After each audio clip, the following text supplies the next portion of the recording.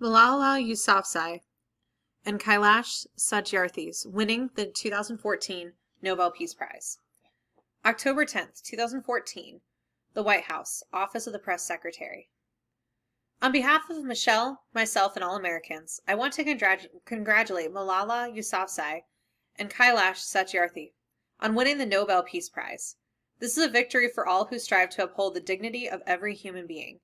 In recognizing Malala and Kailash, the Nobel Committee reminds us of the urgency of their work to protect the rights and freedoms for all our young people.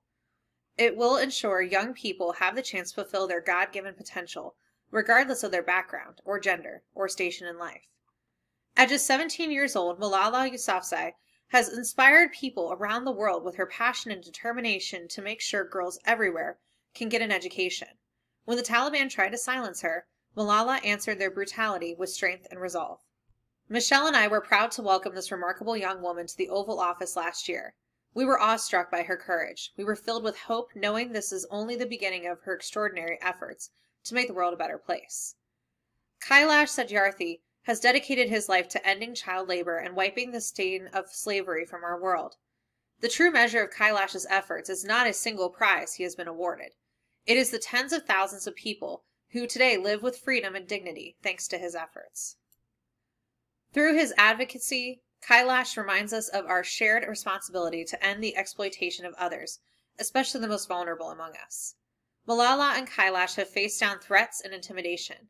They have risked their own lives to save others and build a better world for future generations. They come from different countries, religious backgrounds, and generations a Muslim and a Hindu, a Pakistani, and an Indian, but they share an unyielding commitment to justice and an unshakable belief in the basic dignity of every girl and boy. Even as we celebrate their achievements, we must recommit ourselves to the world that they seek. A world in which our daughters have the right and opportunity to get an education.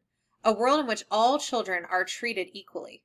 Today, we honor Malala and Kailash's achievements and reaffirm the United States will always stand with those who defend our universal human rights.